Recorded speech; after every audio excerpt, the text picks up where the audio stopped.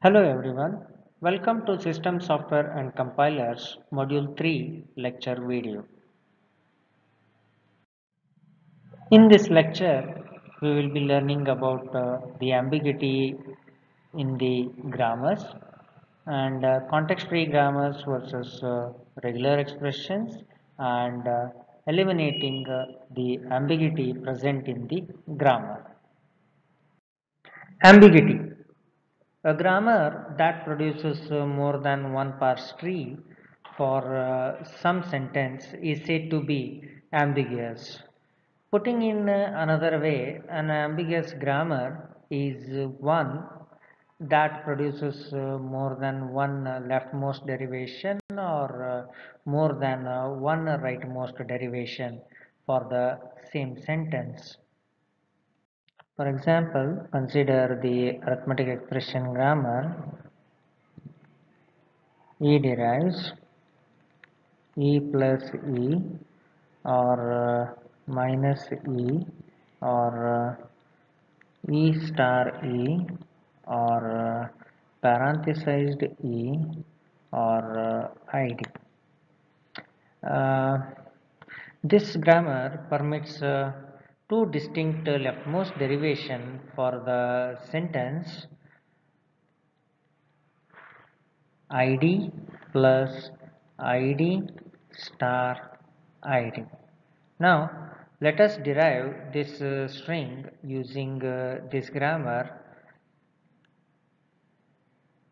So the first version is e derives e plus e then uh, derives id plus e derives id plus e star e derives id plus id star e derives id plus id star id this is the first derivation. We use uh, another uh, leftmost derivation by choosing uh, different productions. So first e derives let us use uh, e star e then uh, e plus e star e derives uh, id plus e star e id plus id star e derives id plus id star e. Sorry uh, this is uh, id so id okay so now the derivation we have used uh, two leftmost derivations here uh, but uh, in the two uh, leftmost derivations we have used uh, different productions and we have derived the same string. But by choosing uh, different productions in certain steps. And the corresponding parse trees uh, let us construct the corresponding parse trees now.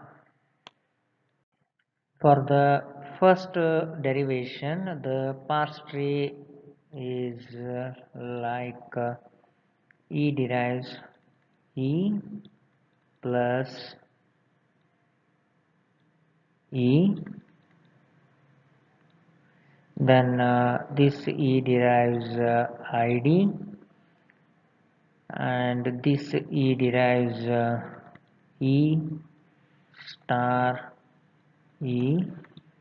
And this E derives ID and this E derives ID.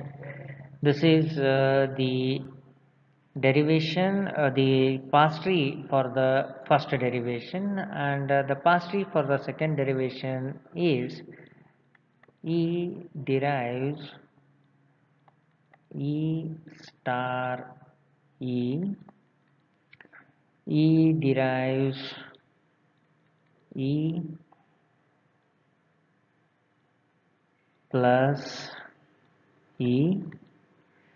Then uh, this E derives ID this E derives ID and this E derives ID so this is figure A and this one is figure B uh, now uh, yeah, we can see that uh, the parse tree uh, of the figure uh, a reflects the commonly assumed precedence of uh, plus and uh, star, while uh, the another parse tree shown in the figure B uh, does not. That is, it is uh, customary to treat the operator star as uh, having a higher precedence than plus so the corresponding to the fact that we would normally evaluate an expression like uh, a plus b star c as uh, a plus b star c. First we have to compute b star c and then we have to process the addition. For uh, most parsers, it is uh, desirable that uh, the grammar be made uh, unambiguous that is if the grammar is uh, ambiguous then it should be converted to the unambiguous grammar we cannot uniquely determine which parse tree to select for a sentence. If the grammar is ambiguous then the for a sentence we can have more than uh, one parse tree. Then in that case it will be very difficult uh, to choose the parse tree in other cases uh, it is convenient to use uh, carefully chosen uh, ambiguous grammars together with uh, disambiguating rules that throw away the undesirable parse trees leaving uh, only one tree for uh, each sentence. Context-free grammars versus uh, regular expressions. Grammars are more powerful notation than the regular expressions. Every construct uh, that can be described by a regular expression can be described by a grammar, but not uh, vice versa. Alternatively, every uh, regular language is a context-free language but not uh, vice versa. For example, the regular expression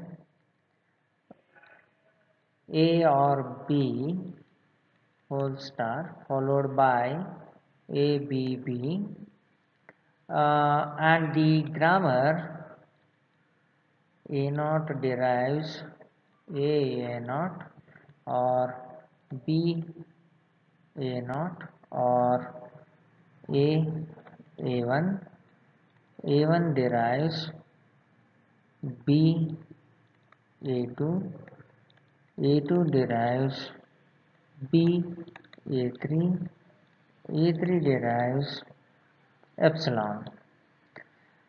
Uh, these both uh, the regular expression and uh, the grammar describe the same language. That is uh, the set of uh, strings of uh, A's and B's ending with ABB.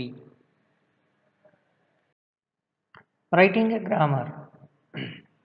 Grammars are capable of describing most uh, but not all of the syntax of uh, programming languages. For instance, the requirement uh, that uh, identifiers be declared before they are used uh, cannot be described by a context-free grammar.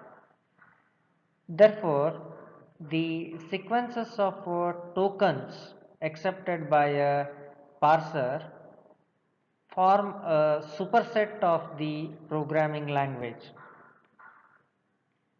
Subsequent phases of the compiler must uh, analyze the output of the parser to ensure the compliance with rules that are not uh, checked by the parser. As we have already seen, uh, everything uh, that can be described by a regular expression can also be described by uh, grammar. We may therefore uh, reasonably ask uh, why to use regular expressions to define the lexical syntax of a language. There are several reasons. The reasons are separation in the syntactic structure, lexical rules, regular expressions and uh, efficient uh, lexical analyzers. Separation in the syntactic structure. So the separating the syntactic structure of a language uh, into lexical and uh, non-lexical parts provides a convenient uh, way of uh, modularizing the front end of a compiler into two manageable uh, sized components. Lexical rules. The lexical rules of a language are uh, frequently quite uh, simple and to describe them we do not need uh, any notation as powerful as uh, grammars. Third, uh, the regular expressions. Regular expressions uh, generally provide a more concise and uh, easier to understand notation for uh, tokens than grammars. The efficient lexical analyzers more efficient lexical analyzers can be constructed automatically from uh, regular expressions than from uh, arbitrary uh, grammars.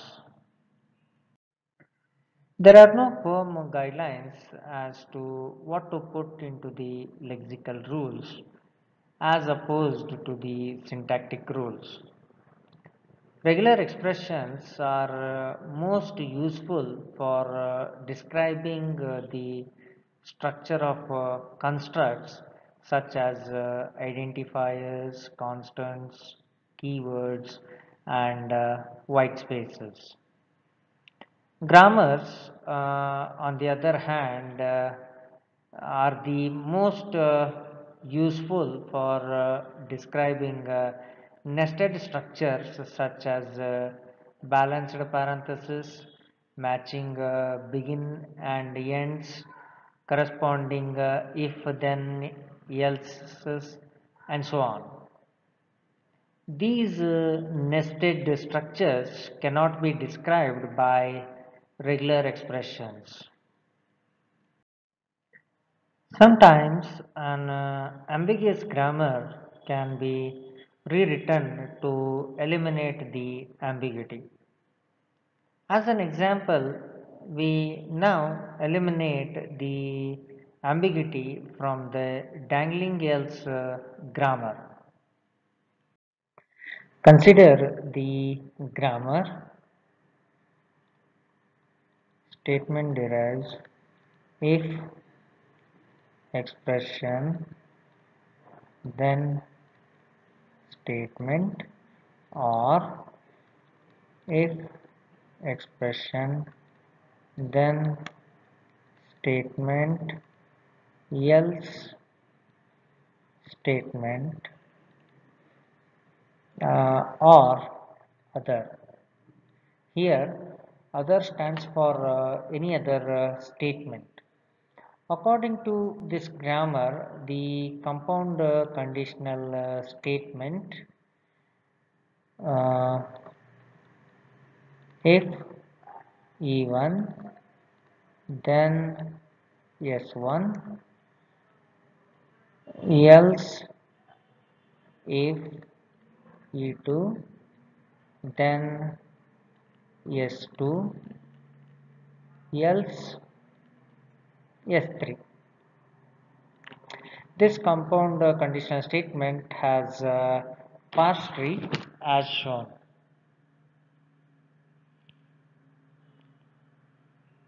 Statement derives if expression then statement else statement expression then statement else statement. This statement derives if expression then statement else statement. So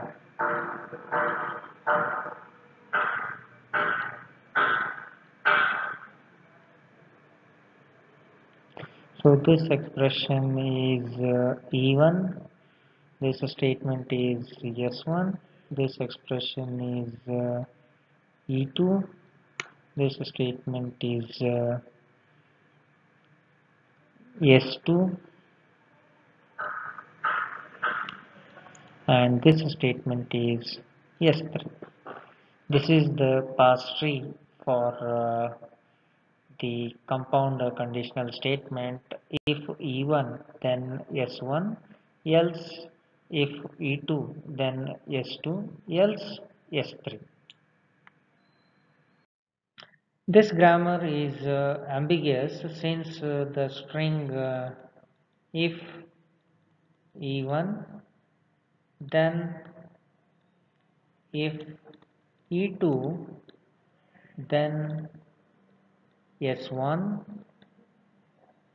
else s2 has uh, two parse trees. Now let us uh, construct uh, the two parse trees. The first parse tree statement if expression then statement. And uh, this statement derives uh, if expression then statement else statement so the parse tree looks like this.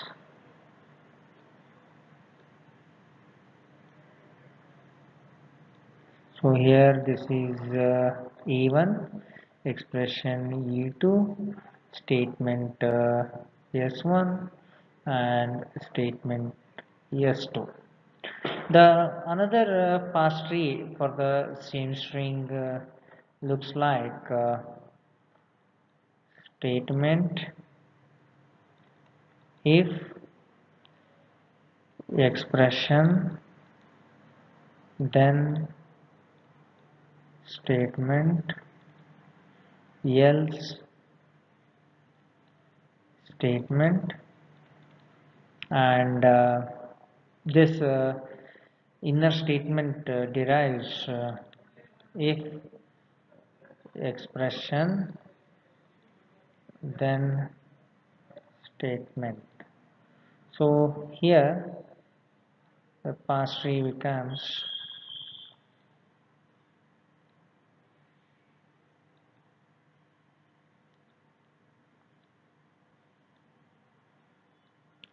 so this expression is e1 this expression is uh, e2 this statement is s1 this statement is s2 now we can see that there are uh, two different parse trees for the same string for that for the grammar. So this grammar is the ambiguous grammar In all uh, programming languages with uh, conditional statements of this form, the first parse tree is preferred. The general rule is uh, to match uh, each else with the closest uh, unmatched then. This uh, disambiguity rule can uh, theoretically be incorporated uh, directly into a grammar, but in practice, it is uh, rarely built into the productions.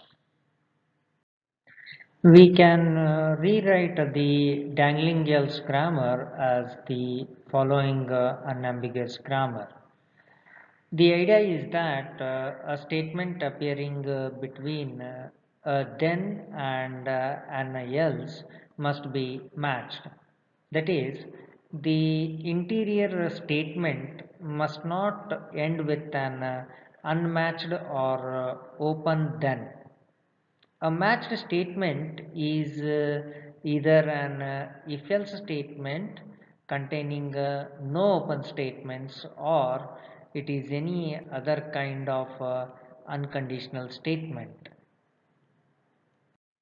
Thus, we may write the grammar as statement derives matched statement or open statement matched statement derives matched statement derives if expression then matched statement else matched statement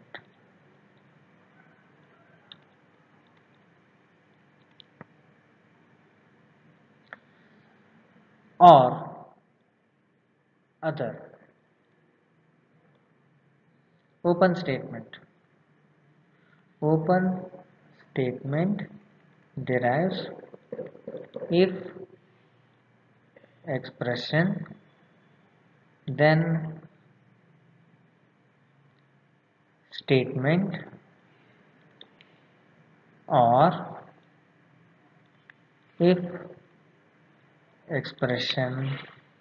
Then state matched statement. Match matched statement. Else open statement.